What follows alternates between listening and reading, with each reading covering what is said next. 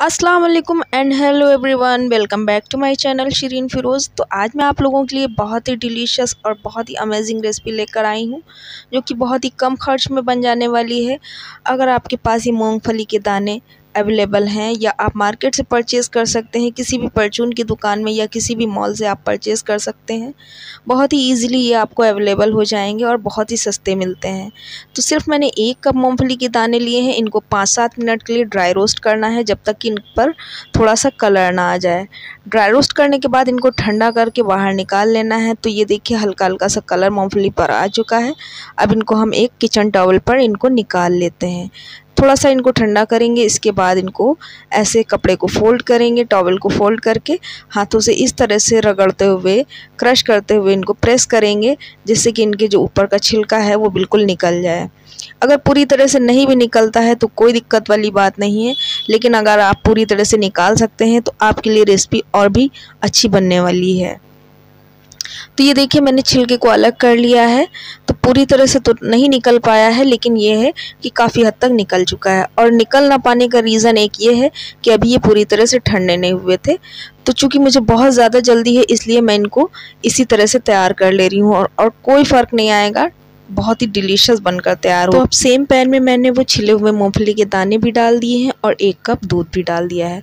अब इनको एक उबाल आने तक बॉयल करेंगे सिर्फ़। अब इनको हम सिर्फ़ एक उबाल लाने तक कुक करेंगे। बहुत ज़्यादा कुक करने की ज़रूरत नहीं है। एक उबाल आने से क्या होगा कि हमारे मूंगफली के दाने अच्छे से सॉफ्ट हो जाएँगे, जिनको कि अभी हमें ग्राइंड करना है। तो अब इस मिक्सर के जार में हम दूध समेत इन मूंगफली के दानों को ग्राइंड कर लेंगे। तो अभी आपको थोड़ा दूध की ज़रूरत और पड़ेगी। अगर आपके पास दूध ज़्यादा अवेलेबल नहीं है तो आप पानी का यूज़ भी कर सकते हैं। लेकिन चूँकि अगर दूध ज़्यादा डालेंगे तो टेस्ट भी डबल आएगा मतलब टेस्ट ज़्यादा इन्हेंस होगा तो इसलिए मैं दूध का यूज़ और भी करूँगी। तो अभी फ़िलहाल इनको हम ग्राइंड कर लेते हैं। तो ये देखिए अभी पूरी तरह से ग्राइंड नहीं हुआ है तो आधा कप दूध और लेंगे थोड़ा सा दूध डालेंगे और थोड़ा सा बचा लेंगे। तो अभी थोड़ा सा फिर से ग्राइंड किया था और फिर से ये पूरा दूध हमने डाल दिया इसमें और अब फिर से हम इनको ग्राइंड करेंगे, एक फ़ाइन पेस्ट बना लेंगे। तो ये देखिए बिल्कुल फ़ाइन पेस्ट बनकर तैयार हो चुका है। अब सेम पैन में हम बिना घी, बिना ऑयल बिना बटर के इस मिक्सचर को डाल देंगे। जी हाँ बग़ैर ऑयल बग़ैर घी और बग़ैर बटर की ये रेसिपी बनने वाली है, जो कि हेल्दी भी बहुत ज़्यादा है। अगर आप पीनट बटर पसंद करते हैं तो आपको ये रेसिपी बहुत ज़्यादा पसंद आने वाली है। तो अब इसको हम डालकर पहले इसको फ्राई करेंगे। तो देखिएगा इसकी कंसिस्टेंसी किस तरह से मेंटेन करनी है, आपको किस तरह से ये रेसिपी तैयार करनी है, इन चीज़ों का ही आपको ध्यान रखना है। तो दोस्तों, अक्सर ऐसा सुना है कि पीनट की रेसिपी लोगों की बहुत अच्छी नहीं बन पाती है। तो उसका एक रीज़न ये होता है कि आप रेसिपी को मतलब पीनट को आप बहुत ज़्यादा कुक नहीं करते हैं। ओवर कुक तो बिल्कुल भी नहीं करना है, लेकिन इतना तो कुक करना है कि उसकी रॉ स्मेल और कच्चापन बिल्कुल निकल जाए। तो अभी हमने एक कप दूध और डाल दिया है। अगर आपके पास ना हो तो आप बिल्कुल स्किप कर सकते हैं, कोई ज़रूरत नहीं लेकिन चूँकि बहुत हेल्दी बन जाएगी, इसलिए मैंने एक कप दूध और डाल दिया है। अब मैंने वन थर्ड कप इसमें मिल्क पाउडर ऐड कर दिया है। अगर आपके पास मिल्क पाउडर भी नहीं है तो आप मिल्क पाउडर भी स्किप कर सकते हैं। ये रेसिपी सिर्फ़ पीनट और शुगर से भी बिल्कुल बढ़िया बन के तैयार हो जाएगी। अगर आप ग्राइंड करते वक्त भी दूध ना डालना चाहते तो कोई दिक्कत नहीं थी, सिर्फ़ आप एक कप दूध में भी इस रेसिपी को बना सकते हैं। तो अभी इसकी कंसिस्टेंसी आप देख लीजिए। और हाँ दोस्तों, एक चीज़ और, आपको इसको नॉन स्टिक पैन में ही बनाना है क्योंकि हमने घी और ऑयल का यूज़ नहीं किया है, इसलिए आपको नॉन स्टिक पैन ही लेना है, जिससे कि ये बिल्कुल चिपकेगी नहीं। तो अब हम इसमें वन फोर्थ कप शुगर डालेंगे। शुगर हमें थोड़ा कम ही डालना है क्योंकि मिल्क पाउडर भी मीठा होता है और दूध पकते पकते गाढ़ा हो जाएगा, वो भी मीठा हो जाएगा और पीनट भी अपना मिठास छोड़ेगी। इसलिए हमें शुगर को बहुत ज़्यादा मेंटेन करना होगा और ये रेसिपी बहुत ज़्यादा मीठी नहीं अच्छी लगती है। तो दो इलायची हमने ले ली थी, उनके दाने का हमने ऐसे पाउडर बना लिया है। अब इसमें हम डाल देंगे और आप इस स्टेज पर चाहें तो केवड़ा वाटर भी ऐड कर सकते हैं या केवड़ा एसेंस भी यूज़ कर सकते हैं। अगर आप केवड़ा एसेंस यूज़ करें तो सिर्फ़ दो तीन ड्रॉप ही यूज़ करें और केवड़ा वाटर आप एक ढक्कन तक यूज़ कर सकते हैं, यानी वन टेबल स्पून भी आप यूज़ कर सकते हैं। तो ये देखिए ये रेसिपी पकते पकते हमारी किस तरह से हो चुकी है, कितनी थिक हो गई है, आप हाथों में लेकर इस तरह बॉल बनाइए। अगर आपका चिपक रहा है तो अभी समझ लीजिए ये कंप्लीट नहीं हुई है और अगर चिपकना बंद हो गया, थोड़ा सा ऑयल लगा के ही इसको गोल करिएगा, राउंड करिएगा तो अगर चिपक नहीं रही है तो समझ लीजिएगा कंप्लीट हो गई है। तो अभी थोड़ा सा मैंने इसको और पका लिया है, क्योंकि मुझे लग रहा था कि अभी ये बिल्कुल कंप्लीट नहीं हुई है। तो ये देखिए, अब ये बिल्कुल ऐसे पलट रही है तो बिल्कुल तैयार हो चुकी है।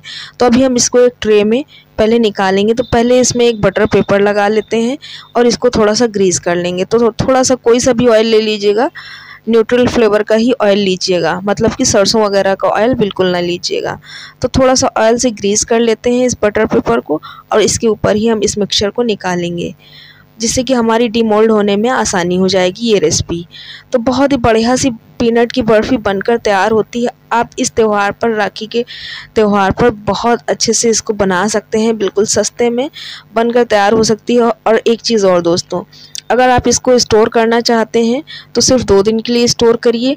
मतलब आप इसको किसी बिल्कुल एयर टाइट कंटेनर में ही इसको रखें। अगर आप खुले में रखेंगे तो थोड़ा सा ये काली पड़ने लगेगी। तो इसके लिए इस चीज़ का हमें ध्यान रखना है कि आपको इसको ओपन नहीं रखना है और फ्रीज़ में रख दीजिए एक एयर टाइट कंटेनर में रख कर तो दोस्तों, अब इसको हम थोड़ा सा गार्निश करेंगे। पहले इसको हमने सारे पार्ट को इसको इवेंट कर लिया है। अभी थोड़ा सा आधे घंटे के लिए इसको हमने फ्रीज़ में रख दिया है, तब तक कि हमने ये पिस्ते ले लिए, इनको चॉप कर लेंगे। घंटा हो चुका है, अब इसको हमने फ्रिज से निकाल कर चेक किया है तो ये अच्छे से सेट हो चुकी है। तो अब इस स्टेज पर हम इस बटर पेपर को बिल्कुल बाहर निकाल देंगे, और किसी प्लेट में इसको हम डिमोल्ड कर लेंगे। तो ये देखिए, हमने इसको निकाल लिया है और बटर पेपर हटा दिया है। अब इसको हम सारे इसके जो एजेस हैं, इनको थोड़ा सा इवेंट कर लेंगे। तो इसके लिए हमने इनको कट कर लिया है और इस तरह से पीसेस में हम इसको कट कर लेंगे। आप अपने मनचाहे शेप में कट करिएगा, चाहे तो आप लंबे शेप में कट करिएगा या बिल्कुल बर्फ़ी के शेप में कट करिएगा।